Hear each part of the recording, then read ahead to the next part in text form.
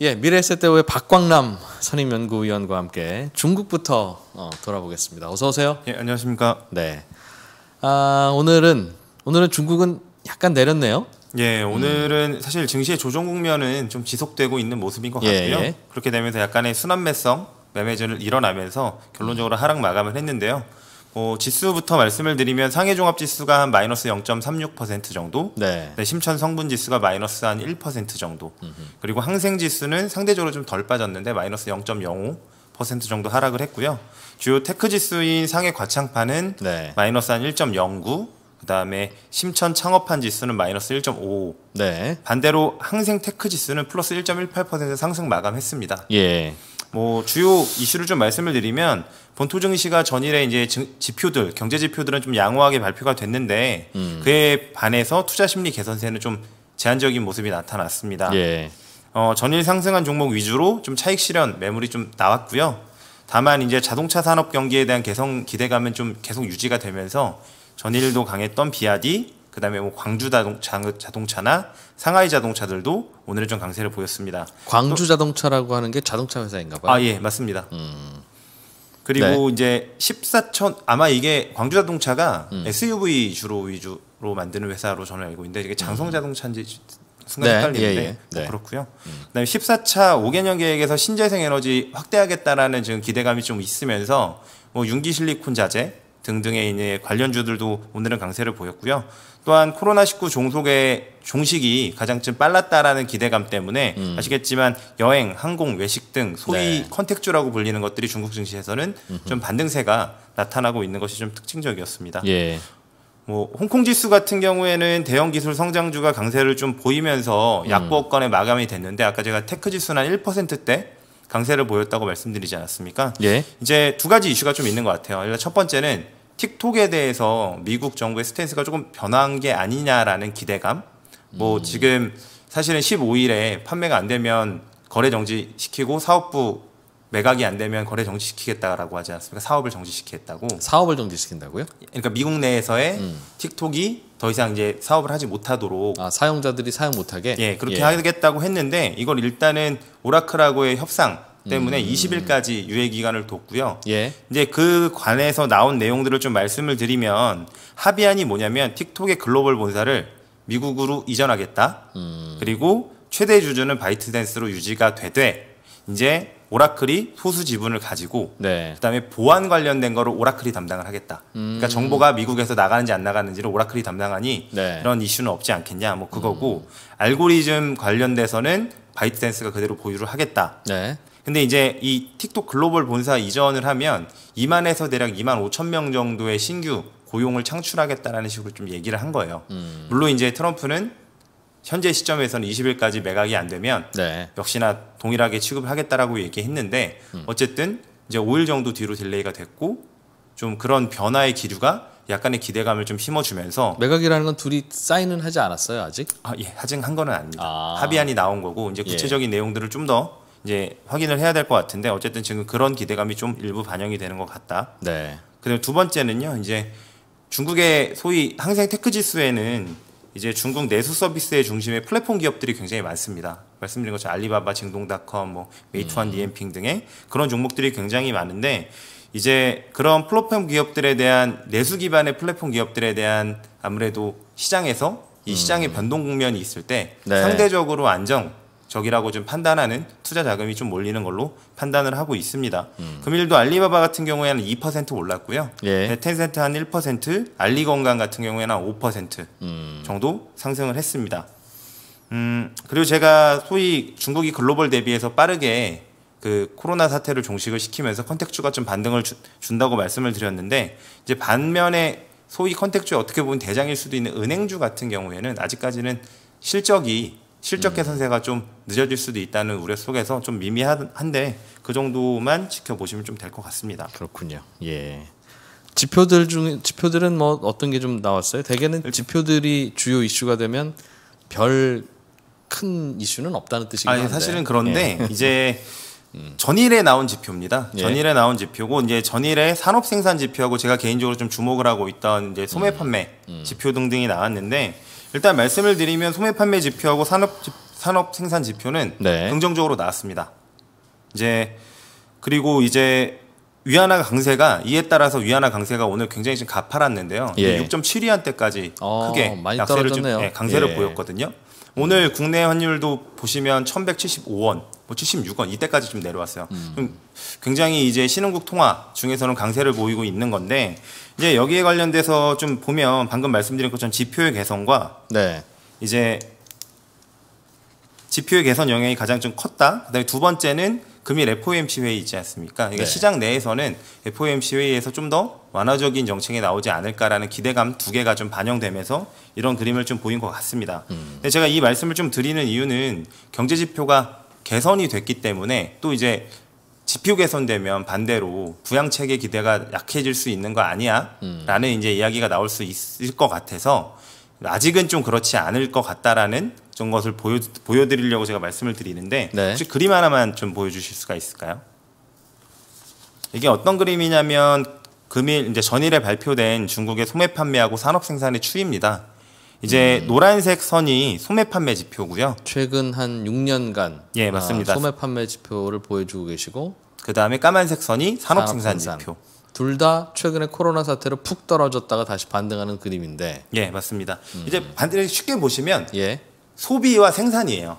네, 소비와 생산인데 지금 뭔가 역전된 그림이 보이시잖아요. 원래는 소매 판매 지표의 YY 성장률이 산업 생산보다 좀 좋았습니다. 네. 그게 앞서갔었는데 이번 코로나 국면을 겪으면서 산업 생산은 빠르게 반등을 한 반면에 네. 소매 판매는 빠르게 반면, 반등을 못했어요. 반대로 어떻게 말씀을 드릴 수가 있냐면 예. 중국 정부가 코로나 사태를 겪으면서 경제 성장률이 급속도로 떨어지다 보니까 음. 컨트롤이 쉬운 부분, 소위 생산을 푸시해서 재고를 쌓아놔도 네. 그게 경제 성장률에는 반영이 되지 않습니까? 네. 그렇기 때문에 그런 역할을 굉장히 푸시를 주면서 생산 정상화를 빨리 이뤘습니다. 음. 근데 반면에 그럼 생산을 해서 재고가 쌓였는데 소비를 많이 해줘야 되잖아요. 근데 소매 지표는 사실 그렇게 쉽게 컨트롤할 수 있는 부분이 아니거든요. 예. 뭐 미국처럼 현금 살포를 했다라고 하면 좀 다르겠지만 음. 그렇지 않았던 중국의 입장에서는 소매 판매 지표는 좀 점진적으로 개선되는 모습이라고 보시면 될 것 같아요. 생산이 먼저 빨리 된 거는 중국 시장뿐만 아니라 다른 나라에서도 중국 제품 수요가 갑자기 늘어나면서 예, 물론 그것도 있습니다. 이제 수출 그렇겠죠. 수요가 그래서 잘 나온 것도 네. 그런 영향들은 있습니다만 어쨌든 중국이 내수 소비가 40% 이상 차지하기 때문에 예. 소비가 굉장히 중요한데 이런 그림이라고 하면 생산 대비 소비의 괴리가 전혀 좁혀지지 않았다는 말씀을 좀 드리고 싶은 거예요. 좁혀졌어야 되는데 아 그럼 중국 정부는 그 말씀은 아직도 배가 고프다. 예 맞습니다. 그래서 이 높고. 소매 지표가 개선이 되기까지는 네.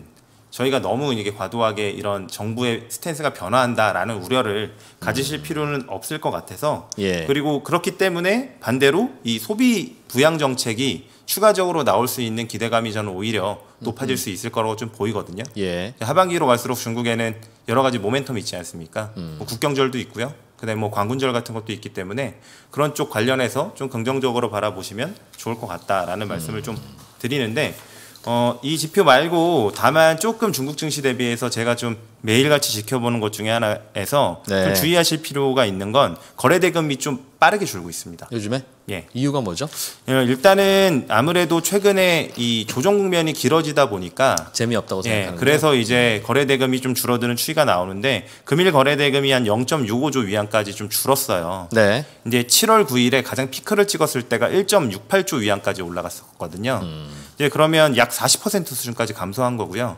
이제 2020년 평균으로 치면 이제 올해 YTD 평균으로 한 0.84조 위안 정도까지 나왔었거든요. 네. 어쨌든 그것도 이제 하회하고 있다라는 거죠. 예, 그렇기 때문에 뭐 이게 아직 추세적으로 유지가 될 것인지까지는 저도 이제 지금 상황에서는 알 수 없지만 다만 거래량이 좀 줄고 있는 것은 그렇게 긍정적인 이슈는 좀 아닐 수 있다 정도로 말씀을 드릴 수 있을 것 같습니다. 알겠습니다.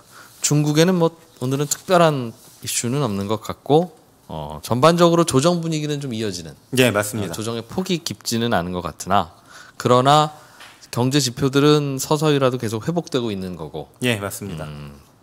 알겠습니다.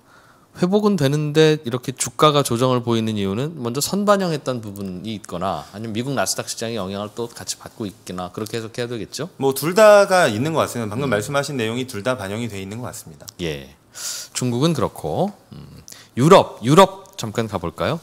예, 유럽 같은 경우에 지금 닥스 지수는 보합권 유지하고 있고요. 네. 이제 영국 FTSE 지수는 마이너스 0.3%. 음. 그다음에 전반적으로는 좀 혼조세를 보이는 모습 정도로 말씀을 드릴 수 있을 것 같습니다. 유럽은 주식 투자하는 분들 별 재미 없겠어요? 매번 보합이에요. 그냥 움직임이 크지 않은데 이제 아시겠지만 최근에 기술 성 장주 위주의 강세를 보였던 전반적인 시장의 특징이 있었는데 이제 예. 유럽 시장에서는 그런 부분이 좀 부재하다는 점. 음, 기술주가 잘 없죠. 예, 이제 그런 게 가장 큰 영향이 있을 것 같고요. 그리고 금일 같은 경우에는 아무래도 이제 우리나라 시간으로 네. 이제 3시 정도의 FOMC 금리 결정을 앞두고 거기에 대한 관망세도 좀 있는 것 같습니다. 네.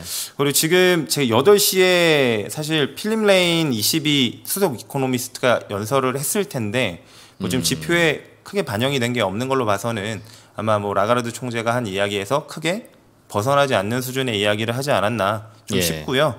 다만 이제 영국 지수가 소폭 더 많이 빠지는 점에 대해서 한마디 말씀을 드리면 이제 아무래도 노딜 브렉시트에 대한 우려가 좀 네. 있습니다. 이제 유로 강세하고는 달리 파운드는 지금 약세 구조가 좀 계속되고 있는데요. 뭐 아시겠지만 국내 시장법 통과시키면서 영국 내부에서도 좀 이슈가 있는데 뭐 일단 전체적으로는 협상을 앞두고 이제 엄포를 부리려고 한다는 게 중론이긴 한데 이 추이도 조금은 살펴보실 필요는 있을 것 같습니다. 노딜 브렉시트와 관련해서는 뉴스를 좀 업데이트하고 정리를 좀 해주시면 좋겠어요. 어, 지금 브렉시트 하겠다고 했다가 왔다 갔다 왔다 갔다 뭐 그 고민만 하고 있었던 걸로 알고 있었는데 예, 맞습니다. 최근에는 어떤 업데이트가 되어 있는 뭐 겁니까? 일단은 지금 회의가 음. 이제 이 일단 1차적인 브렉시트에 대한 합의는 사실은 네. 좀 끝났었던 상황입니다. 그래서 예. 최근에 그래서 노이즈가 안 꼈던 거였어요. 그리고 네. 얘네가 무슨 미래 개발 회의인가요? 뭐 그런 거를 9차까지 지금 지속하고 있는 상황이거든요. 이제 네. 8차 협상이 끝났고 9차를 좀 앞두고 있던 상황이었는데 음. 이제 잘 되고 있었던 거죠. 생각보다는. 어, 그 거기에서 제일 큰 이슈가 지금은 뭐죠? 가장 큰 이슈가 뭐냐면 네. 이제 미- 영국에서 보조금을 주는 이슈가 있어요. 신성장 산업에 대해서 보조금을 주고 싶은데 예. 이게 유로존의 유로존과의 지금 합, 협상, 예, 음. 브렉시트를 하지 했을 때 노딜이 아닌 경우에는 음. 보조금법에 걸린다고 합니다. 그러니까 유로존에 태클을 걸 수 있는 것 같아요. 유로존이 예, 유로존이 얘네가 보조금을 주는 거에 대해서 태클을 걸 수 있는데 이제 어. 예. 영국 현지 내에 있는 기업들은 크게 상관이 없는데 지금 이제 이슈가 되고 있는 거는 이 북아일랜드 관련된 거거든요. 이제 북아일랜드 관련해서는 유로존의 관세를 그대로 네. 유지하겠다라는 아, 관점이었잖아요. 그러니까 영국이 아예 그냥 그만두면 유럽이 뭐 어떻게든 관계 네, 없는데 맞습니다. 벌써 이혼하고 끝냈는데 예. 북아일랜드 이 친구는 유럽 학교 계속 다니게 하고 싶으니까 네, 맞아요. 아, 그 협상 하다 보면 항상 이렇게 지지부진하거나 지연되는 게 있는 거군요. 예, 그렇습니다. 그래서 사실은 국내 시장법이란 게 통과됐는데 그 국내 시장법의 내용도 네. 말 그대로 그 기존의 협상안을 무력화하는 내용이 들어가 있는 거거든요. 음. 이제 예를 들면 방금 말씀드린 것처럼 이런 보조금을 줄 수 있다든지 이런 것들에 네. 대한 내용인지라 이제 그런 것들이 소위 좀 노이즈가 되고 있다 정도로 알겠습니다. 말씀을 드릴 수 있을 것 같습니다. 유럽은 웬만한 산업들은 다 경기가 아주 좋을 때 비로소 좋아지고 그러면 정말 좋은 관광이 그렇고 뭐 명품들이 그렇고 패션이 그렇고 예, 그런 맞습니다. 쪽이겠죠. 어, 아무래도 알겠습니다. 그리고 어, 미국으로 가볼까요? 미국? 예, 지금 미국 네. 선물 지수 말씀을 드리면 오늘은 나스닥 100은 한 0.3% 정도 상승을 하고 있고요. 예. 다우존스하고 S&P 500은 한 0.5% 정도 상승을 하는 상황입니다. 음. 뭐 일단은 제가 개인적으로 금일 미국 지표들도 아마 FOMC 네. 음. 결과에 따라서 많이 좀 움직일 것 같은데 저는 좀 더 제가 개인적으로 주목하는 지표는 음. 매번 말씀을 좀 드렸었는데 소매 판매 지표가 좀 너무 궁금하거든요. 미국의 소매 판매 예. 지표 9시 반에 이제 발표될 예정인데 지금 시장 전망치는 전월 대비해서는 1% 정도 상승할 걸로 좀 보고 있습니다. 8월 달거 예, 나옵니까? 8월 달 겁니다. 7월 같은 경우에는 1.2% 개선이었는데 네. 이제 8월 지표는 아무래도 보조금 효과 종료 이슈를 제가 말씀드렸었는데 만약에 8월 지표가 저는 개인적으로 약간은 부진하지 않겠냐라고 전망을 하는데 그럼에도 불구하고 좋게 나온다면 소위 얘기하는 그 컨택주에 대한 네. 기대감이 좀 더 올라갈 수 있을 거는 같습니다. 근데 다만 이제 지표를 일단 확인하자. 저는 섣불리 말씀드릴 수 있는 입장은 아니어서 이제 보조금 효과가 없음에도 불구하고 경제 재개 효과가 더 커서 예. 만약에 소매 판매 지표까지 호조를 보이면 생각보다는 경제가 회복되는 속도가 좀 빠르다라는 생각을 좀 해야 될 필요도 있을 것 같아요. 네, 그래서 일단은 그것들을 좀 지켜봐야 될 것 같고 그리고 금일은 뭐 두 번 말해도 세 번 말해도 뭐 아쉽지 않을 FOMC 통화 정책 회의가 예정이 되어 있는데 네. 현재 시점에서 달러 인덱스 수준을 봤을 때 이제 완화적인 내용이 나올 거라는 기대는 있는 것 같습니다. 그러니까 한마디 더 시장을 도와줄 거라는 거죠. 그렇죠. 뭐 장기적으로 저금리 유지할 거고 혹은 AIT 소위 얘기하는 평균 인플레 예. 를 유지하기 위한 뭐 구체적인 가이던스가 나올 수도 있을 것 같고요. 아니면 YCC에 대한 언급을 할 수도 있고 네. 전혀 안 할 수도 있을 것 같습니다. 이건 뭐 아무도 알 수가 없는 상황이기 때문에 저는 개인적으로 말씀을 드리고 싶은 건 새로운 내용이 언급되지 않는다고 해서 뭐 그렇게 걱정할 필요는 없을 것 같습니다. 왜냐하면 엄마는 엄마지 뭐. 예, 뭐 우리 엄마 어디 가나요? 최근에 시장이 바닥 찍고서 사실 소폭 반등을 주고 있는 상황이고 네. 경기의 회복은 정상적으로 이루어지고 있는 상황들. 그러니까 연준이 원하는 그림대로 그리고, 그려지고 있는데 예. 굳이 이 상황에서 먼저 무기를 먼저 보여줄 필요는 없지 않을까. 이 시비도 저는 비슷한 스탠스를 좀 보였다라고 생각을 하거든요. 그래서 너무 과도한 우려는 할 필요가 없고 오히려 제가 좀 궁금한 부분은 또 재정 정책 관련돼서 연준이 또 어떤 언급을 할까가 저는 더 궁금하거든요. 음, 뭐 한마디 하면 굳이 좋은 소리야 안 하겠죠. 예, 뭐 어. 필요하다는 식의 언급이 네. 좀더 중요할 것 같고요. 어쨌든 저희가 가장 궁극적으로는 원하는 그림이 예. 인플레이션율을 상승을 시켜서 경기 회복의 정상화를 끌고 가는 거기 때문에 저는 몇 번씩 말씀드려도 아, 아깝지 않다고 말씀드린 내용이 인플레이션율을 가장 획기적으로 올릴 수 있는 방법은 고용을 증가시킬 수 있는 방법일 테고요. 그 고용을 직접적으로 늘릴 수 있는 방법은 재정 정책을 통한 경기 부양이 가장 확실하다고 좀 보고 있습니다. 예. 그래서 이제 오늘 이제 미국하고 공화당하고 민주당하고 아마 또 협상이 좀 지연되거나 막 이런 이슈가 지리멸렬하게 나오고 있는데 네. 그래도 이제 중도파 의원들끼리인 모임이 있다고 하더라고요. 코커스 모임에서 1.5조의 부양합에 대해서는 서로는 중도파 의원들끼리 합의를 해서 합의안을 올렸다라고 합니다. 1.5조. 예. 그런 정도 규모면 일단은 좀 긍정적이라고 생각을 하고요. 트럼프가 양쪽 여야 합의 안 되면 그냥 내 맘대로 하겠어 하는 게 몇 조쯤 됐었죠? 일단은 그거는 미니 부양안 정도였기 때문에 그 금액만큼보다는 더 적을 겁니다. 네.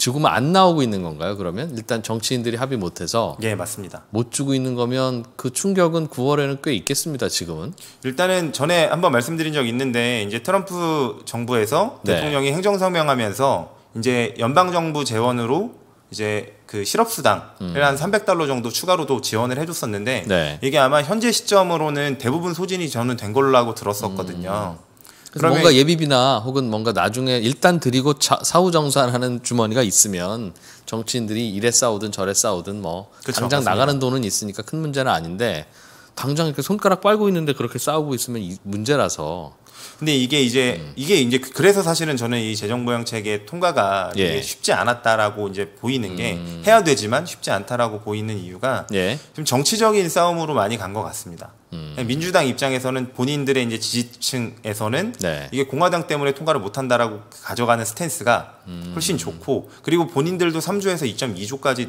낮췄음에도 불구하고 여기서 더 낮추는 그림은 본인들의 지지층에서는 썩 좋은 그림은 아니거든요. 그래서 근데 반대로 공화당 입장에서는 경제 지표가 계속 좋아지는데 더 많은 돈을 쓴다고 하는 것도 본인들의 이제 선거나 이런 것들을 봤을 때는 좋지 않은 결과입니다. 그러니까 정치라는 부분이 껴있기 때문에 쉽사리 합의된다고 보기에는 좀 어려워서 저는 그래서 개인적으로 만약에 지표가 오히려 안 좋아지는 게 호재가 될지도 모른다는 말씀을 전에 드렸던 겁니다. 아. 더 그렇죠. 저도 국민들은 일단은 살만하니까 정치인들이 저렇게 지갑 열까 말까를 가지고 싸우고 있지.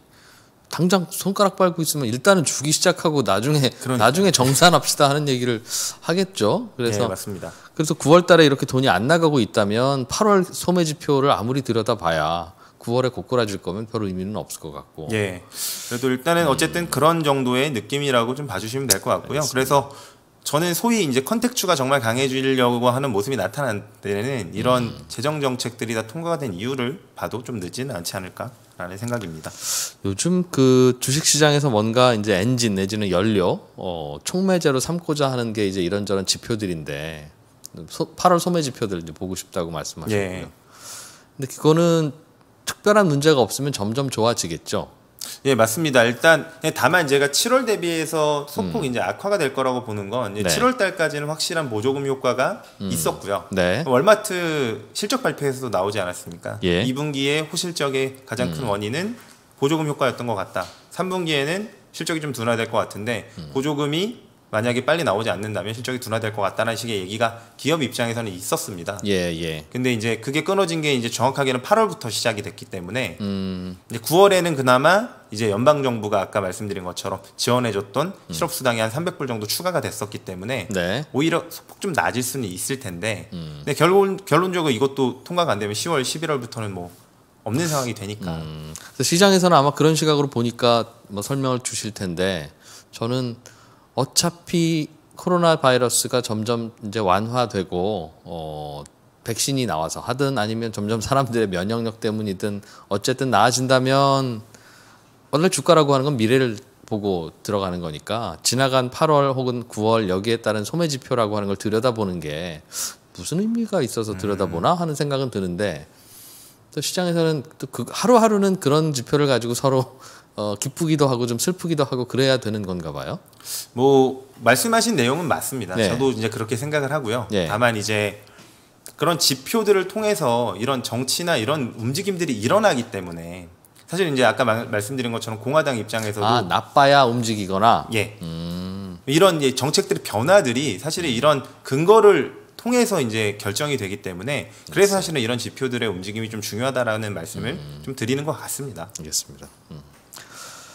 FOMC는 FOMC에 대해서도 FOMC도 하느라고 다 하고 있는 것 같은데 뭔가 시장에서는 항상 매달 선물 하나씩은 좀 줘야지 이번 달은 그냥 넘어갈 거야 하는 그런 투정처럼 느껴지기도 하고 그러니까 저는 불안해하는 게 개인- 예. 있어요 시장에서. 그러니까 저는 개인적으로 FOMC 이 통화 정책으로 할 수 있는 부분은 네. 지금 최선을 다하고 있다라는 생각을 하고요. 더 나올 만한 게 뭐 굳이 이제 방법론에 대한 것 같아요. 이제 뭐 YCC를 얘기하든 아니면 뭐 평균 인플레이션에 대한 그 평균을 뭐 8년을 기준으로 하든 뭐 4년을 기준으로 하든 이런 것들은 네. 방법론에 대한 문제인 것 같고요. 스탠스 자체는 나는 모든 걸 다할 할 여력 열어놨어. 내가 다 지원해줄게라는 이야기는 충분히 했다라는 판단을 하거든요. 네. 근데 이제 이게 발맞춰지려면 음. 사실은 재정 정책이 따라와줘야 된다는 말씀 저는 드리는 거예요. 그래서 저는- 저는 공은 연준이 갖고 있지 않다고 생각합니다. 네. 지금의 공은 재정 정책을 결정하는 이런 미국 의회와 음. 재정부, 행정부에 대한 이제 공이 돈 돌아갔다라고 보기 때문에 사실 이제 그 공이 돌아갔음에도 불구하고 이야기가 안 나오니까 음. 저는 오늘도 왜 FOMC에서 다른 내용보다 재정 정책에 대한 언급을 한 번 더 하는 거를 기대하는 게 음. 그런 압박을 일부 주고 그 재정 정책의 중요성에 대해서 피력을 좀 하는 게 있어야 되지 않겠냐라는 네. 생각을 좀 하고 있는 겁니다. 알겠습니다. 오늘은 유럽은 다녀왔는데 특별한 일은 여기는 없는 것 같고 영국의 브렉시트 관련한 잡음 정도만 걱정스럽긴 한데 이것도 특별한 일은 없는 것 같고 미국은 오늘 FOMC에서 무슨 얘기할지가 일단 FOMC 열리니까 예, 시장-. 안 열렸으면 별 얘기 없이 갈 텐데 한다니까 이게 또 관심이 또 되는 것 같긴 하고요. 어, 이런저런 지표들 좀 들여다보면 되겠다. 전반적으로는 한참 핫하고 뜨겁던 시장은 아닌 것 같네요. 예. 요- 요즘이. 음. 뭐- 그래서 또 불안하게 생각하시는 분도 있을 것 같고. 만약에 이제 시장에서 연준이 음. 뭐더더 완화적인 뭔가를 던진다고 하면 네. 뭐 어떻게 될지 저도 개인적으로 좀 궁금합니다. 시장이 음. 반응을 어떻게 만약에 달러 인덱스가 이- 예를 들면 92도 깨고 91을 막 뚫고 내려가는 네. 음. 막 그림이 나타날 때 그럼 어떻게 될지 뭐 이런 것도 궁금하긴 한데 뭐 그거는 그냥 제가 혼자 하는 생상이고요. 네. 나와봐야지 아는 거니까. 음. 최근에 시장 이슈는 그런 것이었다. 음. 예. 잘 정리해서 들었습니다. 미래세대우의 박광남 선임 연구위원이었고요. 오늘도 고맙습니다. 예, 감사합니다. 네.